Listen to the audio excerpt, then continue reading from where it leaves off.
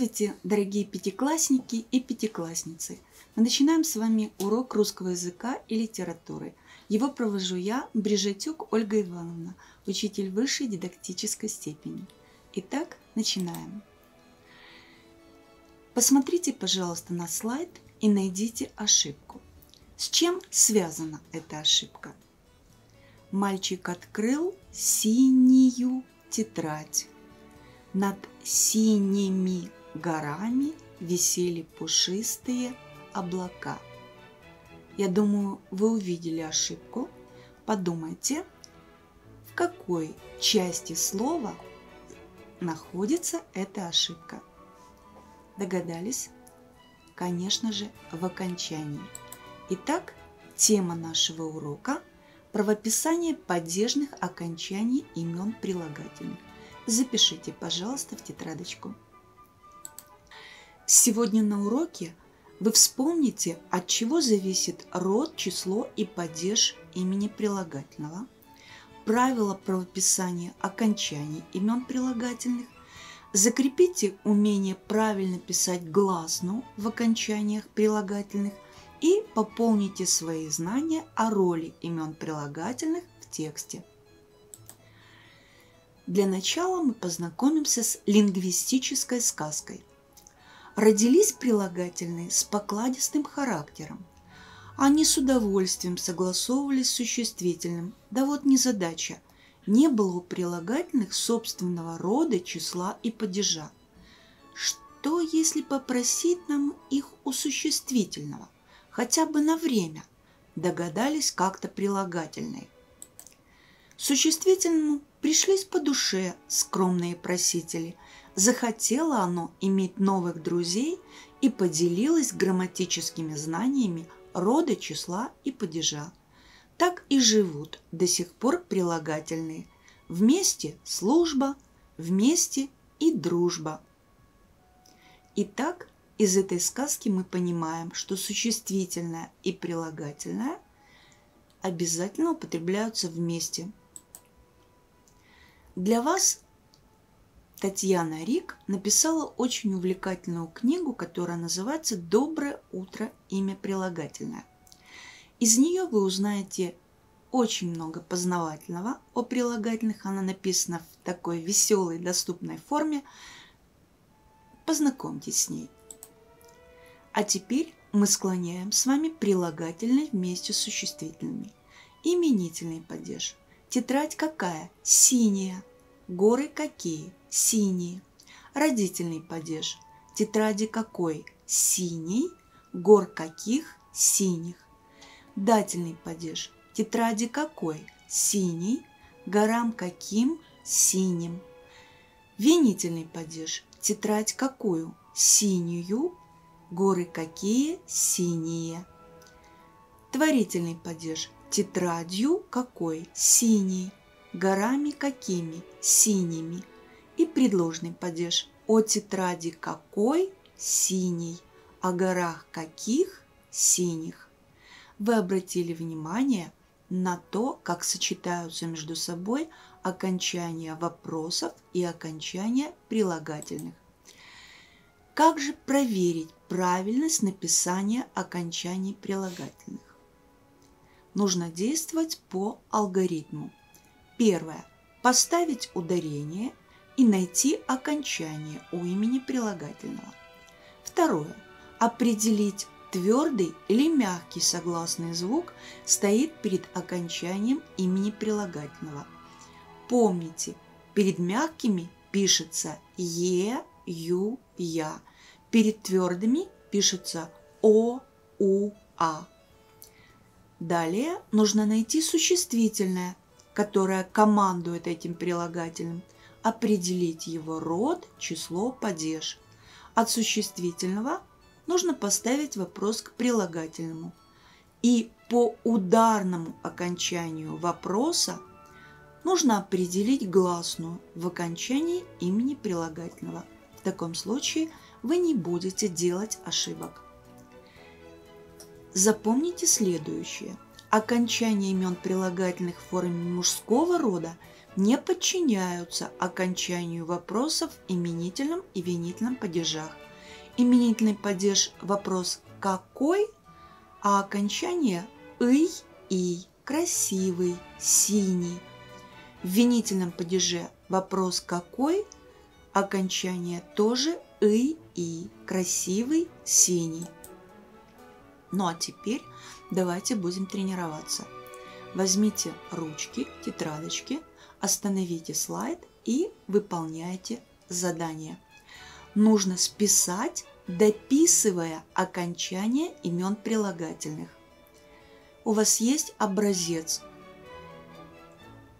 В осеннюю ночь вы задаете вопрос от существительного к прилагательному. В ночь какую? Осеннюю.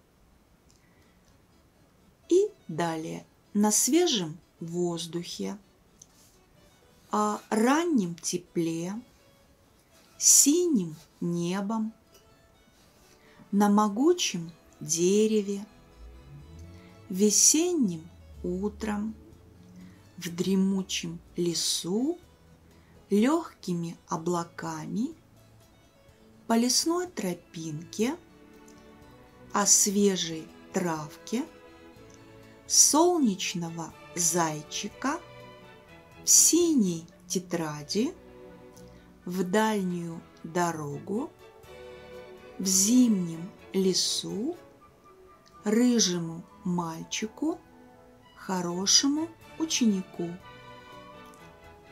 А теперь проверьте себя.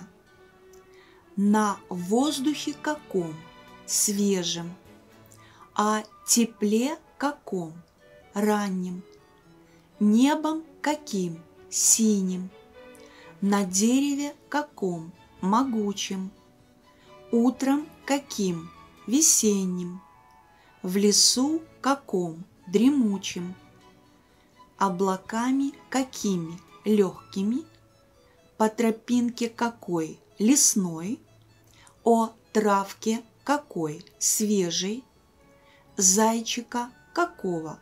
Солнечного тетради какой? Синий. В дорогу какую? Дальнюю. В лесу каком? Зимнем. Мальчику какому? Рыжему. Ученику какому? Хорошему. Я надеюсь, вы все справились с заданием правильно. А теперь согласуйте прилагательные с существительными – в данных словосочетаниях. «однажды в студеную зимнюю пору», «отправился в дремучую чащу», «простудился в осеннюю непогоду», «вспомнил прежнюю учительницу», «отправился в дальнюю дорогу», «подарил искреннюю улыбку», «сделал утреннюю зарядку. И проверьте, как вы справились с этим заданием. Однажды в студеную зимнюю пору отправился в дремучую чащу, простудился в осеннюю непогоду, вспомнил прежнюю учительницу, отправился в дальнюю дорогу, подарил искреннюю улыбку, сделал утреннюю зарядку. Знаете ли вы, кто такой корректор? Корректор корректирует, то есть исправляет. Такая должность есть в газетах, журналах. Поработайте и вы сейчас корректором. Исправьте ошибки – которое сделал нерадивый ученик. Он написал так. «Я увидел могучую сосну. В вечерних сумерках она казалась сказочным великаном из давних времен. На нижних ветках я заметил черного цвета фигуру. Она напоминала огромную летучую мышь. Ну вот такой безграмотный у нас был ученик. Исправьте, пожалуйста, его ошибки. Я думаю, у вас получилось. И вы написали все правильно. Я увидел могучую сосну. Какую? В вечерних сумерках. Каких сумерках? Казалось сказочным великаном из давних времен, времен каких? На нижних ветках, каких ветках? Я заметил черного цвета фигуру. Цвета какого черного? Она напоминала огромную летучую мышь-мышь какую. Я думаю, все вы с удовольствием читали когда-то замечательную сказку Алексея Николаевича Толстого, которая называется «Золотой ключик» или «Приключения Буратино». По этой книге снят удивительно интересный фильм с очень талантливыми актерами. И в этом фильме черепаха Тортила поет песню. Сейчас мы с вами прочитаем слова этой песни. Затянулась бурой тиной – гладь старинного пруда. Ах, была как Буратино, я когда-то молода. Был беспечным и наивным черепахи юный взгляд. Все вокруг казалось дивным триста лет тому назад. Мне казалось счастье рядом, только лапу протяни. Но осенним листопадом прошуршали лето дни. Ну, вот такую грустную песню исполняет черепаха, а мы с вами поработаем со словами песни. Выпишите прилагательные с существительными, которые относятся к ним. Определите их род и падеж. Мы взяли с вами две строфы из этой песенки. Затянулась бурой тиной гладь старинного пруда. Ах, была как Буратино – я когда-то молода. И вторая строфа «Мне казалось счастье рядом, только лапу протяни». Но осенним листопадом прошуршали лето дни. Итак, вы выписали бурой тиной в творительном падеже женского рода, старинного пруда в родительном падеже мужского рода. Я молода, может быть, кто-то выписал. Молода – это краткое прилагательное. Здесь мы можем определить только род, ну и число, если нужно. И осенним листопадом в творительном падеже мужского рода. А теперь посмотрите на слайд. Вы видите репродукцию – картины известного русского художника Виктора Васнецова. Она называется «Аленушка». Возможно, вы описывали эту картину. Ну, а у нас будет задание по этой картине. Из текста выпали прилагательные желтый, глубокий, студеный, горький, лесной, тонкий, черный, темный. Вам нужно вернуть беглецов на место – и тогда у вас получится описание картины Виктора Васнецова «Аленушка». Пожалуйста, будьте внимательны, остановите слайд и работайте. В какой-то глуши спряталось какое-то озеро. Стеной стоят вокруг какие-то ели, какие-то осины роняют в воду какие-то листья. На камне над какой-то водой горюет сирота Аленушка. Не с кем Аленушке слово сказать, некому горе выплакать. Один какой-то омут, слышит ее какие-то жалобы, да лес вокруг грустит вместе с ней. Будьте внимательны, не торопитесь. После того, как вы поработали, вы получили следующий результат. В черной глуши спряталось лесное озеро. Стеной вокруг стоят темные ели, тонкие осины роняют в воду желтые листья. На камне над студеной водой горюет сирота Аленушка. Не с кем Аленушке слово сказать, некому горе выплакать. Один глубокий омут слышит ее горькие жалобы, да лес вокруг грустит вместе с ней. Недавно вы на уроке литературы читали сказку о мертвой царевне и о семи богатырях. В этой сказке тоже есть прилагательные. Они украшают текст, они делают более точным образы, которые рисует поэт. И давайте вспомним вот такие вот строчки.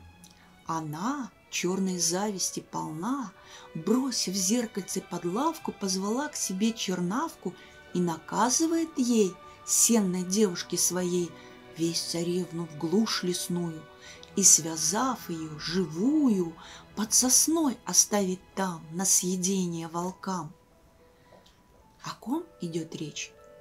Конечно же, о царице-мачехе, о злой царице-мачехе. Здесь употреблено слово «черной». Давайте мы с вами посмотрим, что же может обозначать это прилагательное. Оно имеет следующие значения – цвет сажи, угля, черной ленты, черной краски. Второе значение – испачканный чем-то, грязный. Тебя в бане надо мыть, ты весь черный, чумазый.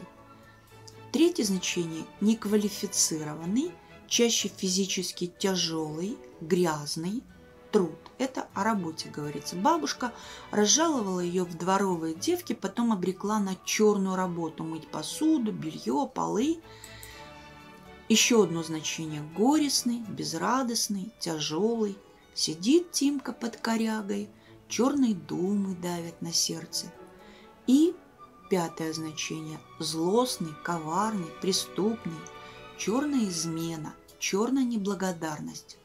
Подумайте и скажите, в каком значении употреблено слово «черный» в фрагменте из сказки Пушкина, который мы с вами прочитали. Конечно же, это Пятое значение – злостный, коварный, преступный.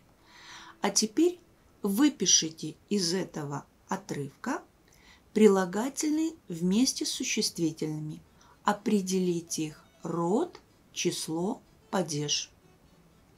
Не торопитесь, будьте внимательны. И мы подводим с вами итоги нашего урока. Чтобы узнать окончание прилагательного, мы находим существительное, к которому относится это прилагательное, определяем сначала род, число, падеж существительного, точно такой же род, число, падеж будет и у прилагательного. Затем ставим вопрос от существительного к прилагательному. Окончание вопроса и окончание прилагательного обычно совпадает. Спасибо за внимание. Будьте здоровы! thank you